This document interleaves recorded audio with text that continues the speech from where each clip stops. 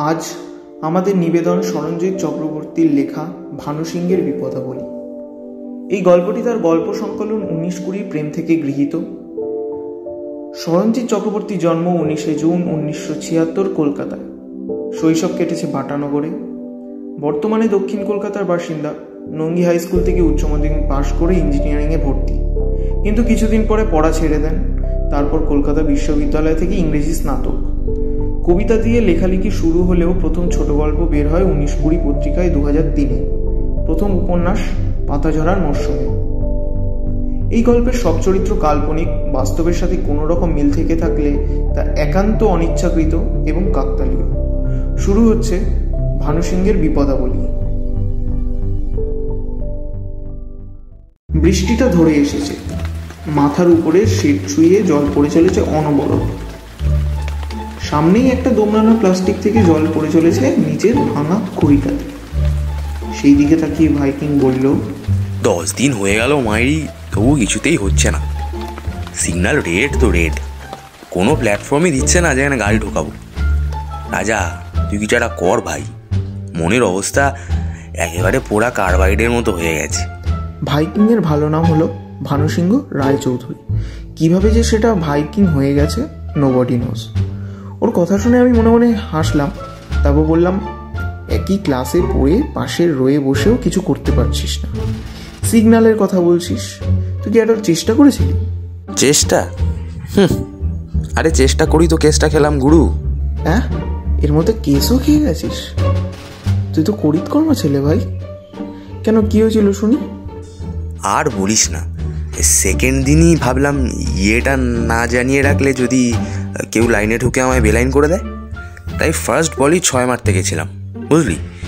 টিফিনে গিয়ে ধরলাম, নাম কাম দেওয়া নেওয়া হলো। তারপরই, বুঝলি, একটু ভুল করে ফেললাম। মানে আমি সরাসরি বলে ফেললাম যে আমি ওকে ইয়ে করি। ইয়ে করিস? হা, কপাল, একেবারে সেকেন্ড দিনেই ব্যাপারটা ইয়েতে নিয়ে ফেললি। তোর মাথায় ইয়েতির ব্রেন আছে নাকি রে? আরে আরও কেলো হয়েছে রে। মানে তুই তো দেখেছিস ওকে কেমন দেখতে। ছাই রঙা চোখ, ব্রাউন রঙের চুল ফ্লোরসেন বাল্বের মতো স্ক্রিন। আমি প্রশংসাই করছিলাম, ও মিটিমিটি হাসছিল, কিন্তু মুখ ফসকে হাইব্রিড আম বলতেই সব জন্ডিস। তুই বিশ্বাস কর রাজা, এর আগে আমি ওকে ক্যাটরিনা কাইফ থেকে ইয়ানা গুপ্তা সব বলেছি। কিন্তু ওর ওই বিলিতি ধাঁচের চেহারাটা মাথার মধ্যে উকি মারছিল কি না এই হাইব্রিডটা স্লিপ করে বেরিয়ে গেছে। ওকে কত বোঝানোর চেষ্টা করলাম যে এটা আদেও খারাপ নয় ভালো হাইব্রিড মানে ওই বাংলায় যাকে বলে আর কি উচ্চ ফলনশীল তাই। কিন্তু আরও খচে গেল। আমি হলে তোকে চড়িয়ে লাল করে দিতাম। রাজা প্লিজ ও ও তো তোর ল্যাব পার্টনার একটু ম্যানেজ করে দেয় না গুরু। ডমিনোজে পিৎজা প্রসাদ চড়াবো আর ড্রিউ ব্যারিমোরের সিনেমা দেখাবো। এই যাত্রা ত্রাণ করে দাও না গুরুদেব আমার, পিসামশাই। আমরা এবারে ক্লাস ইলেভেনে উঠেছি। দক্ষিণ কলকাতার গড়িহাটের কাছে আমাদের স্কুল। এইচএস বলে নতুন ছেলে মেয়ে ভর্তি হয়েছে অনেকে, তার মধ্যে ইলিনা রায় বলেও একজন আছেন তাকে নিয়ে আমাদের এতক্ষণ আলোচনা হচ্ছিল আমাদের এইসব কথাবার্তা সাধারণত স্কুলের ছাদেই হয়। ছাদের এক কোনায়, জলের ট্যাঙ্কের উপরে কোরোগেটেড ফাইবারের শেড এই শেডের তলায় বসেই আমি আর ভাইকিং যাবতীয় প্ল্যান প্রোগ্রাম করি। এখানে রোদ নেই, কিন্তু বেশ হাওয়া আছে। যাক প্রথম দিনই লিনাকে দেখে ভাইকিং বলেছিল। রাজা দেখেছিস? স্কুলের ভাগ্য খুলে গেল। আরে এই মেয়ে পৃথিবী হতেই পারে না। গালে টল্লু তো দেখেছিস? একেবারে খুন খারাপ। এ শিওর এ শিওর প্লুটোর মেয়ে। ওরম ঠান্ডা ফ্লুরোসেন্ট গায়ের রং। ওহ গুরু! আমি সেদিন আর জিজ্ঞেস করিনি প্লুটোর মতো গায়ের রং মানে কি। কিন্তু এর ভিতরে যে একটা জিলিপি পাখি রেখেছে আমি আন্দাজ করতে পারিনি। আমার সাথে অবশ্যই লিনার আলাপ খুব স্মুথলি হয়েছে। একটু ফ্রি হওয়ার পর একদিন লিনা বলেছিল রাজা তোর চশমার ফ্রেমটা খুব আনকমন আনকমন না? জানিস অনেক খুঁজে খুঁজে বের করতে হচ্ছে ফ্রেমটা দারুণ বল। আনকমন হলেই দারুণ হয় না। সত্যি বলতে আমার মুখটা চুপসে ফুটো বেলুনের মতো হয়ে গিয়েছিল সেদিন। তবে পাশে একটা মিষ্টি দেখতে মেয়ে বলেছিল না রে খুব সুন্দর। ইলিনাটার কথায় পাত্তা দিস না তো? ও এরকমই। ওই মেয়েটার নাম সেজুতি। ও আগেও আমাদের স্কুলেই পড়তো তবে অন্য সেকশন। ও অদ্ভুত ভালো আর খুব সহজ। যেমন দু চার দিন পরেই আমায় বলেছিল। তোকে না ভীষণ ভাই ভাই দেখতে। পাশেই ভাইকিং ছিল সেদিন। ব্যাটা ফুট কেটে বলছিল ঠিক বলেছিস এখন তো দুটোই ভাই রাজা ভাই আর দাউদ ভাই এই দশ বারো দিনে সবই ঠিকঠাক হয়েছে। শুধু ভাইকিংয়ের ওই ব্যাপারটা ছাড়া। এই নিয়ে আমরা কথা বলছিলাম স্কুল থেকে ফেরার সময়। আমি ট্রামে করে ফিরি আর ভাইকিং একটা মোপেডের মতো গাড়ি। সেদিনও ফিরছিলাম। হঠাৎ সেজুতি এসে ভাইকিংকে বলল এই আমাকে একটু পৌঁছে দিবি? বাবা আজকে গাড়ি পাঠায়নি। ডাহা ঢপ। আমি নিজে দেখেছি ওদের হলুদ ফিয়াট পালিওটাকে। কিন্তু বেমালুম চেপে গেলাম। সেজুতি তখন ক্রমাগত ভাইকিংয়ের মাথা খেয়ে চলেছে লিফট পাওয়ার জন্য। ভাগ এখন আমি গাড়ি সার্ভিসিংয়ে নিয়ে যাব। তুই তুই বরং রাজার সাথে ট্রামে কাট যা। একদম রাজা প্রজা দেখাবি না ও চলে যেতে আমি ভাইকিংকে বললাম। কি বদ রে তুই? নিলি না কেন? এটা সরকারি পরিবহন না আমি ওর মাইনে করা ড্রাইভার রে? হ্যাঁ? গত সপ্তাহে ছ দিন লিফট দেওয়া হয়ে গেছে জানিস? তাও যদি ইলি না হতো। হুম, ইলিনা চাইবে কি করে? ও তো প্লুটোর মেয়ে না। তাই মোপেটে চড়ে না। গাধা কোথাকার। ওদের ল্যান্সারটা দেখিসনি? আর হাইব্রিড আমের কথা ভুলে গেলি? তাহলে? তাহলে কি করি বলতো? টায়ারটা পাংচার করে দেবো? হ্যাঁ। তাহলে ওর ড্রাইভার তোর কাছে লিফট চাইবে। ওর দাদা ব্ল্যাক বেল্ট জানিস? অ্যাসান পেতাবে না? তখন মারের চোটে বৃন্দাবন দেখবি। বৃন্দাবন? আরে বৃন্দাবনই তো চাই। ভালোভাবে বন্ধুত্ব হওয়ার পর বুঝলাম যে ইলিনাও খুবই ভালো মেয়ে। শুধু একটু ঠোঁট কাটা। একদিন ছুটির পরও বলল রাজা আমাদের বাড়ি একবার যাবে প্লিজ? একটু তোর হেল্প দরকার। আমি ভাবলাম এই সুযোগ বাইকিং এর ব্যাপারটা সেটেল করা। ব্যাটা যা ঘ্যান ঘ্যান শুরু করেছে তাই রাজি হয়ে গেল। সাউদার্ন এভিনিউয়ের উপর ওর ইলিনাদের বাড়ি। একটু বাংলোটাই পাঁচিল দেয়া ভিতরে বাগানও আছে। সামনের বারান্দায় কয়জন বসেছিল। আলাপ করে দিই আমার স্কুলের বন্ধু রাজা আর ওই আমার মা বাবা দাদা আর দাদার বন্ধু সৌম্য বাসু। সৌম্য বসু একদম যাকে বলে টল ডার্ক হ্যান্ডসাম চোখে সরু ফ্রেমের চশমা আছে। বয়সের তুলনায় একটু গম্ভীর মনে হলো। ইলিনার ঘরটা বেশ সুন্দর। দেয়ালে স্টিভয়ের বড় ছবি। জানলায় লেমন কালারের ড্রিপারি স্কুল থেকে এলি। চিকেন স্যান্ডউইচ খাবি? না। তবে লুচি খাব। ইলিনা একটু হেসে চলে গেল অন্য ঘরে। আমি মনে মনে ছক কষতে থাকলাম ভাইকিং এর হাইব্রিড কীভাবে লো ব্রিড করা যায়। এর মধ্যে ইলিনা ফিরে এলো। রাজা একটা হেল্প করবি? করব। কিন্তু আমারও একটা কথা শুনতে হবে। শুনব। তবে আমার আটটা অঙ্ক করে দিতে পারলে তবেই। আগে সব কটা অঙ্ক সলভ করে দে তারপর যা বলবি শুনব। এক ঘণ্টার ধস্তাধস্তিতে মাত্র ছটা অঙ্ক হয়েছে। ইতিমধ্যে লুচি আলুর দম মিষ্টি সবই চলে এসছে আমি কোনোটাই ছুতে পারিনি। আমি শেষে দুহাত তুলে বললাম দুটো কিছুতেই হচ্ছে না। ডেটায় গন্ডগোল আছে শিওর। তবে কথাটা বলি। আটটা না হলে কোনো কথা নয়। আমি চুপ করে গেলাম। ভাবলাম থাকবে ভাইকিং ভেস্তালে ভেস্তা। আমি লুচি সাটাই। চলে আসার সময় ইলিনা গেট অব্দি ছেড়ে দিল আমায়। বারান্দায় তখন আর কেউ নেই, সন্ধে হয়ে গেছে। রাজা, ভাইকিংকে বলিস অন্যের কাঁধে বন্দুক রেখে চালানো যায় না। ওই যে সৌম্যদাকে দেখলি, আইআইটিতে ইলেকট্রনিক্স ইঞ্জিনিয়ারিং পড়ে। প্রতি সপ্তাহে একবার এখানে আসে। বুঝতেই পারছিস। কাল ওর সঙ্গে ডিস্কে যাওয়ার কথা আছে।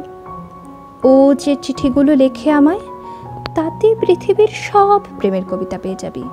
বুঝলি? হুম বুঝলাম। তোরও কি ওকে ভালো লাগে? চশমা পরা মানুষ আমার ভালো লাগে। এবার যা যা মেঘ হয়েছে বৃষ্টি হতে পারে। আমি বেরিয়ে পড়লাম। বেশ মিষ্টি হাওয়া দিচ্ছে। মেনকা সিনেমার সামনে দিয়ে যাওয়ার সময় দেখলাম পোস্টার থেকে ঋত্বিক রোশন হাসছে। চশমা পরা ঋত্বিক। কই মিল গিয়া ছবিতে? ঋত্বিক রোশনের সঙ্গে সৌম্য বসুর মুখের অনেকটা মিল আছে বোধহয়। ওই নির্ঘাত ইলিনার ইয়ে সেই জন্যই চশমা পরা মানুষ ভালো লাগে ইলিনার। আমি আবার পোস্টারটা দেখলাম। মনে হলো ঋত্বিক নয়, সৌম্য বসুই আমার দিকে তাকিয়ে বলছে, মুঝে মিল গিয়া। কাকা, তুমি বাদের খাতায় ইঞ্জিনিয়ার ছেলের সাথে টক্কর, পারবে? চেয়ে ওয়াক ওভার দিয়ে দে নয়তো বাংলাদেশ ক্রিকেট টিমের মতো অবস্থা হবে। বুঝলি? সামনেই ফেস্ট তুই কোনো সেদিকে মন দে। আমিও ইঞ্জিনিয়ারিং পড়ব। ততদিনে সৌম্য স্টেটসে আমিও স্টেটসে যাব। তখন হয়তো সৌম্য কোনো মাল্টি ন্যাশনালের ষাট সত্তর হাজার টাকা চাকরি করছে। আমি আশি নব্বই হাজার টাকার চাকরি করব। ওরে নাড়ু ততদিনে সৌম্য ইলিনার সেকেন্ড জেনারেশন তোকে মামা ক্যাডবেরি খাব মামা মিকি মাউস কিনবো বলে অস্থির করে তুলবে। তবে উপায়? সরে পড়। আর তাছাড়া এইচএস বেশ টাফ সেদিকে মন দে। ইলিনা মানে তোর জন্য নয়। আর কি? শেষ না দেখে? কি রে নন্টে ফন্টে? কি হচ্ছে? তাতে তোর কি দরকার সে যদি থাক দেখছিস না কেন আমরা একটা জরুরি আলোচনা করছি। তোর আলোচনা? সে তো শুধু ভাট পোকা আলো চলে গিয়ে চনা পড়ে থাকা। তার চেয়ে বরং আমার বাড়ি পৌঁছাতে বাবা আজকে গাড়ি পাঠায়নি। ইল্লি আমি তোর পোষা বিল্লি নাকি? ভাগ এখান দিয়ে। দিবি না তো? ঠিক আছে। উফ কি ঝামেলা রে বাবা। দেখ ঠিক আছে চল। আমি অবাক হয়ে শ্রীজ্যোতির দিকে তাকাতে ও আমায় ফিস ফিস করে বলল ভাইকিংকে তো আর ভাই ভাই দেখতে না? ফেস্টে বিশেষ ঝামেলা হয়নি, শুধু ডিবেটে নৃত্যকলা মেয়েদের একচেটিয়া নয়, এর পক্ষ বলতে গিয়ে ভাইকিং রবিশঙ্করের দাদার নাম বলে ফেলেছিল অন্নদা শঙ্কর। তাছাড়া আর সব ফার্স্ট ক্লাস মাঝে মাঝে বৃষ্টি হচ্ছিল, আমাদের আড্ডার তাতে অবশ্য কোনো ছেদ পড়েনি। সে যদিও লিফট নেওয়া চলছিল, আর ভাইকিং প্লুটোর মেয়েটির সাথে এক গোছের র্যাপও বানিয়ে ফেলেছিল। আর এসবের মধ্যে একটা ছোট্ট বাক নিল আমাদের জীবন